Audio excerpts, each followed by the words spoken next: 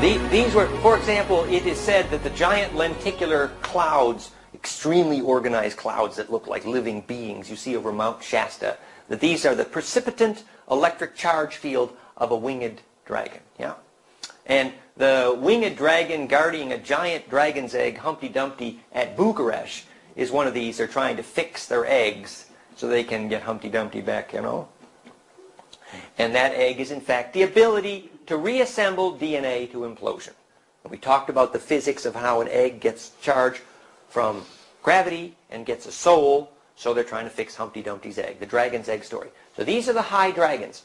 So the high side of the dragon is um, becomes the story of Aku versus Dracu, Ophanim, the Luciferic, and um, uh, the winged ones. This, in the local part of this story, becomes Ebi versus Uru. Ebi meaning bird, and Uru meaning snake. You ask the aboriginals who the two brothers were of the ancient gods. It's the bird god and the snake god. And when the bird holds the snake, and so we have a remnant of the bird brain, which needs to be fed by the snake brain, so the bird has to hold the snake by the throat and pump the juice, the, the venom, the testosterone. And when the snake brain feeds the bird brain, Quetzalcoatl returns. A description of Kundalini, basically.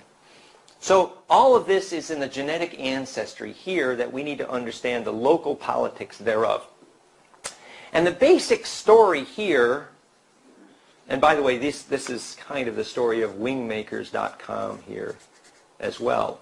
If you, for those of you who are familiar with a wingmaker, a wingmaker is someone who makes this, And wingmakers.com, and the solution in Wingmakers is something called they call BST, which is blank slate technology, interactive dynamic time travel. Only that can resist the arrival of the great parasite ETs, right? If we have the right kind of shaman, our gene pool gets an immune system. Well, uh, they think that the interactive dynamic time travel here, which is the only defense we have against great parasite ETs, they think it's an electrical problem but it's really a psychological problem. A shaman that has the chutzpah, a shaman that has the chutzpah to travel in time, you know, wake up and fix the near future without messing up, screwing up the near past. That's, a, that's called a tron.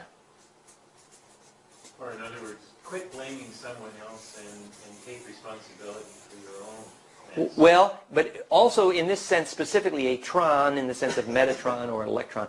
A tron refers to the ability to turn the cross through the speed of light fast enough that in your lucid dream, when you see how to go to the past to fix the future, you can see both at once fast enough so the time cops don't catch you. I mean, so that the event histories, if you meet yourself in the past and mess with it, then you screwed with yourself in the future, and you are screwed. Phase conjugation is how you got there. It's kind of a long story. But Anyway, to have the beingness to do that kind of interactive dynamic time travel is a really high-level shaman. Their electric field is time penetrant. These are also called time lords. But the reason they have to fix the fabric of time, like you got a big bleeding wo wound in the fabric of time from Montauk, and all these grays come rushing in, the parasites, because time isn't fractal enough anymore when they cause it to bleed. And so it sounds complicated, but it's really quite simple. If your DNA was imploding and you're sending a signal through the speed of light, when you go faster than the speed of light, you must inhabit time. You would get here before the Earth got here next year in the rotation of the solar system. That's how you travel in time. Acceleration is time travel. Yeah? And so in the same way that space must be fractal to be inhabitable, also must time. So we're, we're trying to set the context here we're trying to set the context now that in this culture, um, the, the philosophy of this side, the family, the Draku. now remember, a seraphim is a high dragon, and a high seraphim has wings, Archon Siakar. And the other side the family is specifically known as bird tribe. This is the return of the bird tribe here. Ebi, bird tribe, Ophanic, Aku, all synonyms really. In um, in uh, Iroquois, they're called bird tribe. In uh, Cherokee, they're called Adawi. In uh, Aboriginal Australia, In the Adnyamatna tribe, they're called Valnapa. An Apa and Apta. And this became the family line, which the Andromedans called Pa Tal. Uh, wings with a tail, which became our word later in Egypt, Ptah. These two sounds, ah, ooh, That's right. That's right. Ah, who. And, um, but the PT in here uh, was associated with pterodactyl and winged snake and uh, reptile. The PT also refers to sept, sevenness. So PT is very profound there. The patal. The Andromedans call this, uh, uh, um, they call this uh, 11th dimensional DNA. That's the way they describe it in uh, Alex Collier letter from Andromeda.com, which I worked with him personally fairly extensively. Um, and so we can see now we said, look, when the DNA fits, finishes the seventh braid, it becomes 12 axis spin, 5 plus 7. So here the 11th, and they say this is the ancestors of Enki, whom we're about to talk about. So this is where we're going with this story, right here. So now in the local politics, where we have a fractal of these wars, the two sons of An, Antu, by different mothers, become Enlil, Enki and Enlil. And because this family contained a good fractal of these giant wars, you could breed a vaccine here, see? Now, um, we need to set the local story here for what happened. Here, this, You Yeah. said two different mothers from Anu. that's exactly where we're going. The mother, okay, okay. the, the, the mother from uh, Enki was Ida, and she was from Rigel in Orion, and she had blue blood. Same name as right? Atun, uh, Ida, Akhenaten's wife. Thank you. Very, nice. Whereas Enlil's mother, by the same father, Anu, was called Urash. Uru Asa. Is there a clue there? Right? And the story, the famous story was that, um, I, I want to tell a little more of the background before I tell this part of the story. The, the background is that these two halves of the family, um, they had a different philosophy about how to grow up DNA. In this half of the family, they believed the way to grow up DNA was to prevent it from changing. So on this side of the family, DNA that, that changes is by definition weak. Okay? And that's basically the fallen Draku, at, at least on the fallen side. Now remember, the, a small portion of the Seraphim High Dragon bloodline, only a small portion of it, had a genetic disaster, which is loss of implosion in DNA, loss of ensoulment, called Nephilim. No phi in them, Nephilim. Okay? So only a small part of the giant dragon family had that genetic disaster, but the rest of the family of the Seraphim were heartbroken about the mess. Okay? And so how this genetic disaster happened, the Nephilim, the fall, is a big part of our story. And the Nephilim story is in part this family. So how did this genetic disaster happen? Remember, on this side of the family, they had evolved to a situation where preventing DNA from changing was the agenda. So lack of evolution, lack of mutation. That's right. That to prevent mutation, you kept elaborate genetic records. And the Seraphim genetic records are called the Mormon tablets, for example. This is a culture designed to prevent DNA from morphing, basically. So basically it's extreme inbreeding, which That's reptilian, yes. And so, but another aspect of that was that this reptilian DNA he brought was recessive. It had to be inbred, so that both fits here. So we want to understand first what was the philosophy of the two halves of the family. On this side, if you plant a forest, your reason for a plant of, to planting a forest was to plan to cut it down. On this side the family, if you plant a forest, your reason for planting the DNA was to plan to set it free in order to learn from it.